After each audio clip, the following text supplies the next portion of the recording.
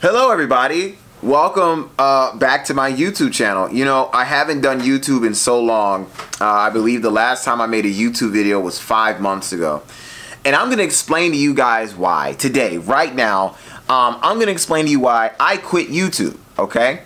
Now, I don't want to scare anybody who's watching this video. Uh, if you are a first time YouTuber, you want to get into it or you want to start, I am more than happy for you and I hope that you uh, you stick in there. Um, but for people like me who have experienced YouTube and other platforms, I can tell you without a shadow of a doubt that this platform it has the highest uh, barrier in, of entry, and um, there's a reason why I quit YouTube, and we're gonna get into it today. Um, before we get started, obviously, I want to say this disclaimer. Okay, this entire video is 100% first world problems. If you don't like people complaining about things that aren't children dying, uh, uh, people starving, uh, people suffering, then you don't want to watch this because this is about none of those things. This is about me, my experience, and how I feel. And if you're not down with that and you think it's too much complaining, I get it. Leave the video. Have a great day. But for those of you who don't mind listening to my story and why I quit YouTube in the first place, then stick around. So today we're going to talk about it and uh, in part, okay? So part one is my experience on YouTube, okay? So let's start there. So I started YouTube back in 2012 and I was, uh, what, 16 or 17? Um, and now keep this in mind, I started YouTube because I, I initially wanted to do music, okay? And for a long time it felt like it was working to a, to a degree. I didn't know what popular youtubers what type of views they were getting and my quality wasn't that great. So obviously i didn't expect a whole lot. But sometime in 2015 or so i had created a um, no it had been earlier than that. Uh, no around 2012 actually 2013 i had created uh, a, a, a new type of show called song theory. Um, people have made the comparison. Yes, I used to um, get very inspired off of MatPat from game theory and film theory. That's why I created song theory. There is a gap. He didn't fill it. I filled it. I make theories about songs and and music videos and lyrics. That is what I do. That's my brand, and I'm very proud of it. Okay. Now, since then, I have been doing YouTube videos, and there has there has been no greater pain than me doing YouTube videos and realizing that they weren't going anywhere. Looking at my analytics every single time I posted a video, I did all the tags right, I did all the thumbnails correctly, I did everything right. And still, I wouldn't get the views that I expected. Now, mind you, this theory content already exists on YouTube in a great way. MatPat just paved the way for theory content and his stuff is incredible. There are other people who make theory videos just like that and I was trying to break into that uh, that same uh, vein of creativity but I just it didn't work. And now I'm not the only person who's created content on YouTube and it didn't work. Okay, I, I, get that. And I'm not saying my content is the best, and I'm not saying that I'm the best creator and woe is me. What I'm saying is that YouTube, for some reason specifically, just did not like my content and it didn't push it out almost at all. Okay, so I'm not here just talking. I'm gonna give you guys some proof. Okay, so you know, of course, here's here's the proof that I've started back in 2012. Okay, and that's the about page. That's the whole thing there. All right, so you know I'm not lying. I've been doing this since 2012. Okay, now I'm also gonna show you some of the views that I get. Like just concurrent views, that's kind of what it looks like here. Okay, these are the views that I would get consistently on YouTube, and this is pretty much what would, what would happen. All right. Now, currently, right now on YouTube, I have about 3,000, ooh, I want to say 3,500 subscribers. Hold on. No, I have 3,900. I'm almost at 4,000 subscribers, okay? And mind you, I've been doing YouTube for over 10 years or almost 10 years, excuse me. All right. And I'm at three, not even at 4,000 subscribers. All right. My concurrent view rate doesn't reach over a thousand views typically. No matter what I did, and I'm telling you guys, like I'm being very serious, no matter what I did, I could not break through the ceiling that was YouTube's algorithm. I could not figure it out. And once again, I did everything right. I started doing consistent videos, all right? I work full time. I used to come home from my full-time job and bust out videos, man. I'm talking video after video after and it was consistent. I really was consistent. Now, a lot of you out there might go, "Well, you weren't as consistent as you should have been." Maybe you're right. Maybe you're right. And I want you to keep that in mind as we keep talking. Maybe I wasn't as consistent as I could have been, but are we gonna not recognize that there are YouTube videos right now that exist on this platform that have only had one video and exploded? No hashtags, no thumbnail, and it just blew up to a million views. Is it really about consistency? And continuing on with that point, I was consistent for a time and I did it. My creativity was at all time high at a certain point. I was busting out videos and I was really excited about what I was doing and I loved it. It was great. But then there started to become a weight that was on my shoulders. I kept watching these videos of people who weren't even trying who weren't even putting as much lighting and, and, and, video quality and, and backdrop setting and thumbnail work and hashtags and metadata. They weren't doing any of that stuff. And yet, and yet they were blowing up on the platform. While somebody like, somebody like myself or some other creators working hard to create scripts and writing out all these videos. It took me hours to write out video, hours, days sometimes, to make scripts for these song theories. And nothing would happen. They would go nowhere in the grand scheme of this platform. At one point, I became so desperate for views that I used to actually pay for views. Yes, YouTube, I would pay for views. Take me down now. Shut down this entire channel if you want to. I don't care. That's what I did because I was desperate. I was upset as an artist. I was putting all this work and time into something that I was doing for free. And at the very least, at the very bare minimum, I wanted YouTube to push my content to a point where I felt like people were watching and my content meant something to a large audience. That's not to say the audience that I have doesn't make me feel great because it does, and I appreciate all of you. But on a grand scheme, for millions of people that exist on this platform. YouTube will only push it out to a few thousand. And not to mention, the way the algorithm works, it was barely being pushed out to my own audience. So finally, I decided about five months ago that I would give up on YouTube. I quit the platform. I totally stopped. I didn't post any more content. I was done because at that moment I realized that YouTube's algorithm just does not appreciate my content. I recognize that perhaps maybe my content wasn't meant for YouTube. Maybe it wasn't meant to be on any platform at all. Maybe I was supposed to just disappear into obscurity, never to be seen from again on your screen or anyone else's.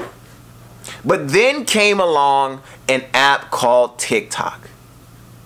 And I'm sure you guys have heard of TikTok. All right, I'm a 26 year old man and I remember when TikTok first came out, people talked about it. They were like, oh, don't talk about that platform. That's for kids. That's so stupid. You know, they're over there doing dances and their little, all that stuff. And for a while, I agreed with them. I thought that TikTok was stupid.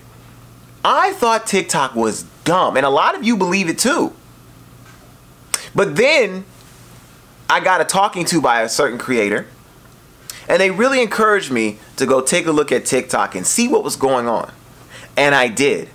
And to this day, I do not regret it. So after YouTube, I decided to go explore TikTok. Now TikTok is, is an amazing app. It has a really great uh, glidey UI, right? The user, user interface is incredible. You just glide up, okay? You got the likes, you got the comments, you got the shares on the right-hand side, okay? Most people are right-handed. So their, their own user interface was actually incredibly made, all right? So they tailored to people who would be in this binging mood to keep swiping up and keep watching videos. And I started to recognize that the virality on that app, all right, the accessibility that you have on that app of TikTok is incredible. Okay, let's consider this. YouTube has billion, oh, let me say it again, billions of hours of footage on its platform. You drown, if you are a small creator, you are most likely to drown in the sea of content that exists on this platform. Because nine times out of 10, nobody will see it because they're already looking at, and this is important to talk about when it comes to YouTube. YouTube promotes news, they promote entertainment, they promote movies and TV shows and corporations over their own user base. Let me say that again. YouTube focuses more on the corporate structure of media than they do you or I. To go even further, you see that people like, I don't know, Emma Chamberlain, uh, um, you see Logan Paul, you see all of these big stars blowing up on the app. But I want you to consider why. A lot of these people that blow up on the app happen to be handpicked by YouTube, plucked out of the sea of content and put up on a pedestal for them to trend. All their hashtags are made to be number one and number two. Their thumbnails, not even that well made, mind you, are put up on a pedestal and they are made viral and they become superstars on this app. But there are people like you and I, or people you may know, who are small creators who have been creating and writing scripts and doing all this stuff, thumbnails and all that, to perfection and nothing happened. So, TikTok, that app that I was making fun of for a while, the app that people told me not to get on because it was for kids, actually changed my life. When I got on TikTok, the first video that I made was back in, I believe, uh, September. I want to say it was back in September of 2020. All right when I made this particular video, it was September 20th, all right? This video right now, and September, October, November, December, January, February, five months later, has 133,000 views.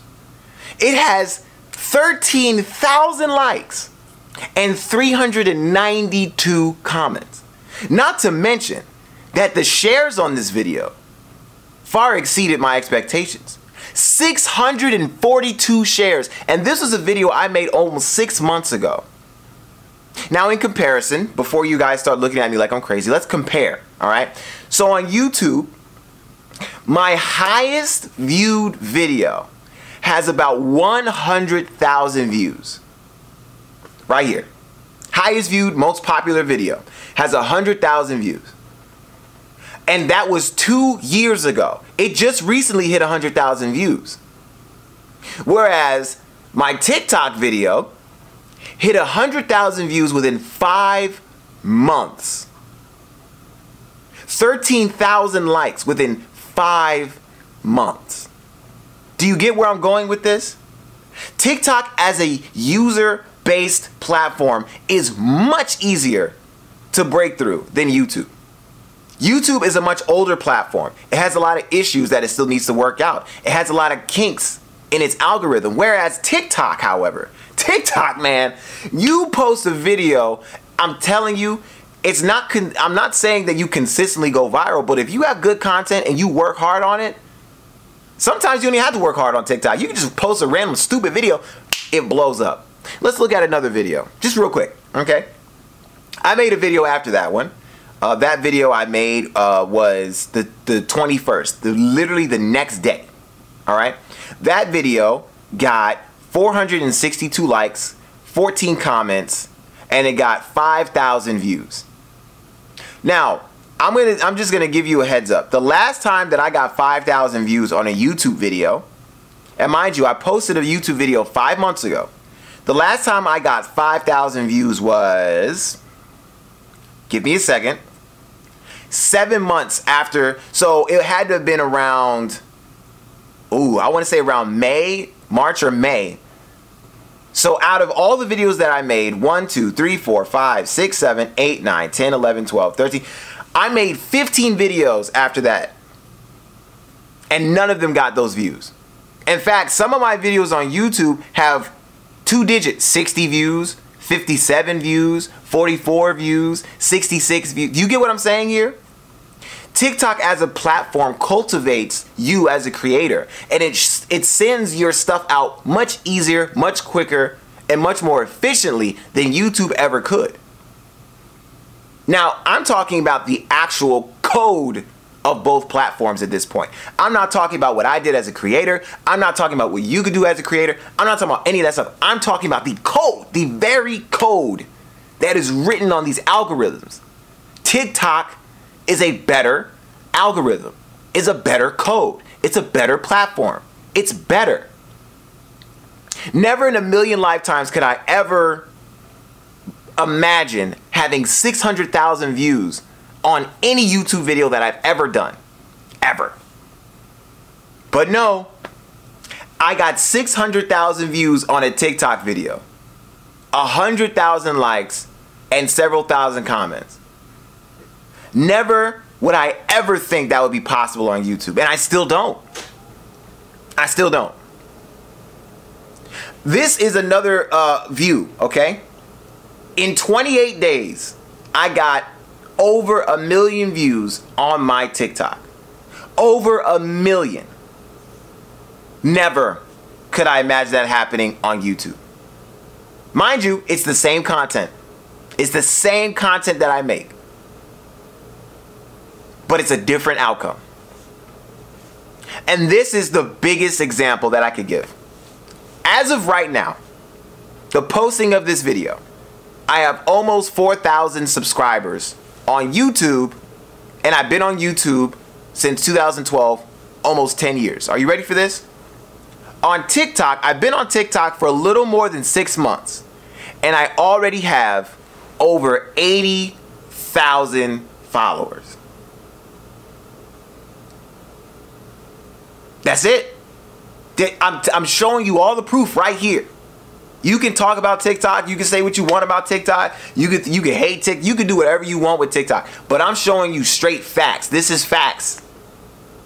80,000 followers. I would never, in a million years, I would never imagine getting that on YouTube. That that is just out of the realm of possibility in my mind in this current reality. And this is what YouTube has created. YouTube has created people who are fleeing the platform, going somewhere where they are more appreciated. I am more appreciated on TikTok than I've ever been on YouTube. Ever. And that's not to say I don't have great fans on YouTube, because I do. Thank you all so much for being here. The few that actually get notifications of these videos. Because knowing YouTube, I'm gonna no one's gonna watch this. I'm gonna get absolutely no views on this video. Nothing's really gonna happen. YouTube hates it when people talk about its platform, so more than likely my own subscribers won't even see this video because that is the code. That is how YouTube works. They intentionally make sure people don't see stuff like this. They intentionally make sure small creators don't get the platform or the time or the chance to explode or explore their options. That's not what YouTube is for, but TikTok is. TikTok allows you to explore and create and, and cultivate your creativity and have an audience to appreciate it. So, my final point of this video is what now? What now, right? I do want to come back to YouTube eventually. I do. I don't know when okay? Because if I if I gave you an idea of how long it takes me to make let, let's just put this out here. All right, with YouTube, I take a lot of steps. I get the lighting, the camera, I record, I edit. Editing takes hours, if not days. Okay, then I have to render, which takes hours. After rendering, I still have to create the, the thumbnail, which takes hours. I still have to create the hashtags, which takes a lot of time to research and make sure that all the metadata is correct. I got to make sure that when I upload the video, it has to have the title of the video and it has to have keywords in the title to make sure the metadata is correct. Then after I post it, I have to make sure that I use my other five accounts to watch the video and get that video to completion so that YouTube could even think to allow my video to hit anybody else's platform or screen. I have to do all the hours and days of work just for YouTube to get out my video with 66 views. Not even 1% of the people that follow me. All that work, hours and days of work for that. Whereas with TikTok, I can bust out a video. I'm talking research takes almost no time because the, the, the video length is only a minute. That's the maximum amount of time I have. So in a minute's time, it takes me maybe 10 minutes to do research. It takes me about 10 minutes to actually shoot the video. And then it takes me less than five minutes to edit it. That's 25 minutes of work. Hashtags and all that stuff, that's easy.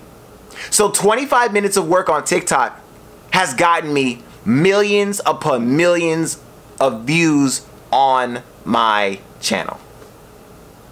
80,000, almost 100,000 followers soon on TikTok off of 25 minutes of work per video. You guys cannot sit here and tell me that's not worth it. You cannot sit here and tell me that, you know, uh, maybe I'm doing something. Nah, bro. YouTube is not the platform that you think it is. And for small creators, if you're trying to get out and you're trying to do something big, use TikTok. Do not use YouTube. Now, is that to say that everybody becomes viral on TikTok? I didn't say that. Is that to say that TikTok, you're going to absolutely become super successful? I didn't say that. What I said was that it's easier to do so on TikTok than it is on YouTube. 100%, hands down. I have all the proof. You watched this entire video, you saw the proof. I want to come back to YouTube. But its algorithm is so confusing. It's so um, it, it diminish there's there's no return on investment. There is no ROI at all. The hours and days of work do not result in people watching it. It just doesn't.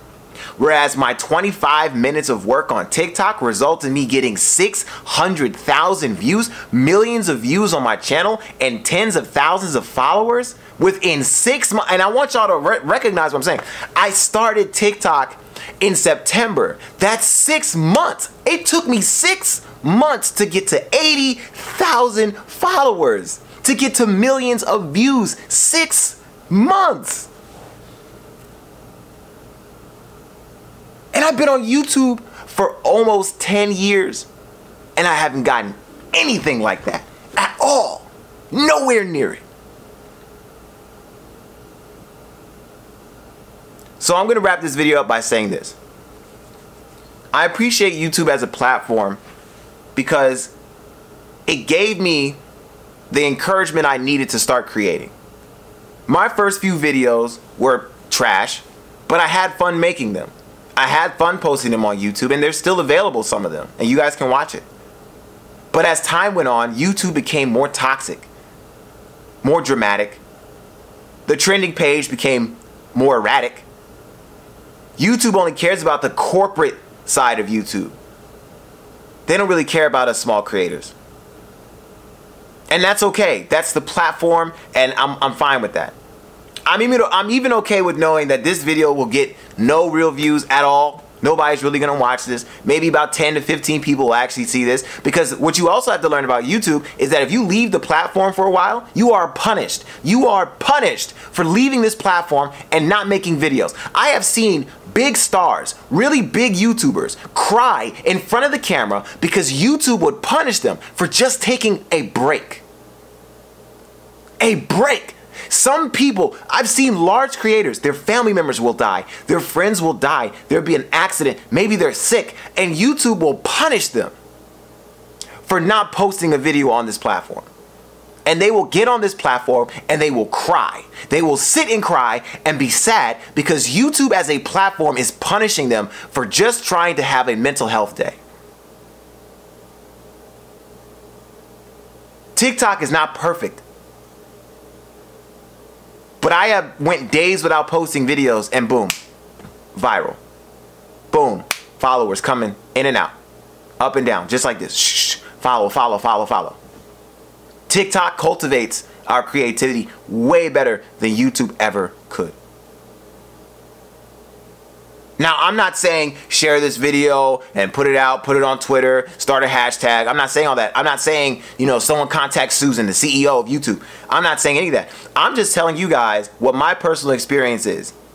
And if you are a small YouTuber or a small creator, I want to just, if I could just give you one piece of advice, it's diversify.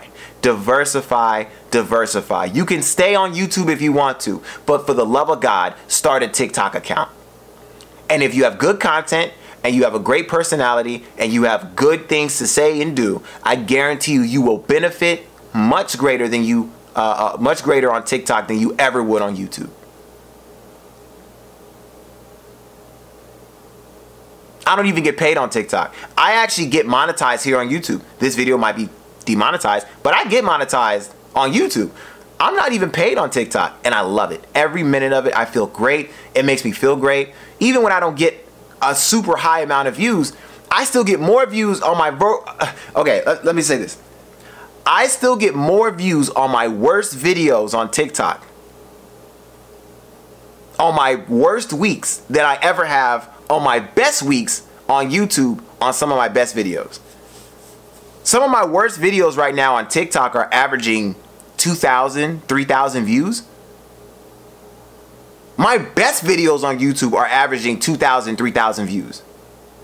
You get what I'm saying? YouTube can definitely discourage you as a creator. And once again, I'm not saying TikTok is perfect because TikTok has a lot of evidence of, of racial bias and all that stuff. They do have their issues. But as a platform, it's a lot easier to win on TikTok than it is on YouTube. And maybe your experience is different. I don't know who you are watching this video. Maybe you disagree. Maybe you'll never try TikTok ever in your life, and that's fine. But I'm just telling you my experience, and I'm telling you why I quit YouTube. Eventually, I will come back. And the only reason why I'll come back to YouTube is because people on TikTok want longer content, and that's it. That is the only reason. I would never come back to YouTube just for YouTube. I'm only coming back to YouTube because of the people who love me on TikTok and who truly care, and the fact that TikTok actually pushes my videos out to them and the people who want to see my content and they want more of it. Not to say I don't appreciate those of you who have been on YouTube. I appreciate you. Thank you so much. And like I said, if, if I do create content again, I'm ready to create it for the people on TikTok and for those that love me here. But once again, YouTube doesn't even care about some of my subscribers because there's evidence that they don't push our videos out to people who actually support us. There's evidence that YouTube stunts our growth by not allowing our own subscribers to see the notifications of our videos. I'm done. Thank you for watching this. For those that did, like I said, this whole video is probably going to be suppressed. I wouldn't be surprised. I'm expecting max 10 views on this video. And I, that's it. I, there's nothing much else to say. Subscribe if you want to. Like if you want to. Dislike if you want to. I don't care. Because this, this, this platform doesn't care anything about me. And it more than likely doesn't care anything about you. So thanks and bye.